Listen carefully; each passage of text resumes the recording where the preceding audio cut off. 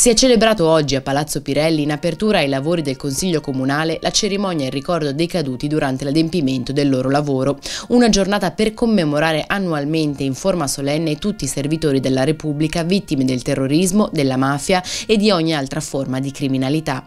La giornata di memoria è stata istituita con legge regionale nel 2004 scegliendo il 6 febbraio come giorno prestabilito in onore dei due agenti Renato Barborini e Luigi D'Andrea rimasti uccisi in un conflitto a fuoco con la banda criminale Vallanzasca al casello autostradale di Dalmine nel 1977. Una cerimonia sobria per ricordare tutti quegli agenti caduti che dalla seconda guerra mondiale ad oggi sono in tutto 400. Ad aprire la cerimonia il presidente del Consiglio regionale Fermi che ha parlato dell'importanza di mantenere viva la memoria, ricordando in particolare i nomi dei due agenti uccisi in questure a Trieste e dei vigili del fuoco morti nell'esplosione ad Alessandria. Ha poi preso la parola l'assessore alla sicurezza decorata Corrado che anche lui ha evidenziato l'importanza di ricordare perché chi viene ricordato non morirà mai del tutto. Regione Lombardia nel 2004 ha istituito proprio la giornata per ricordare queste vittime un po' dimenticate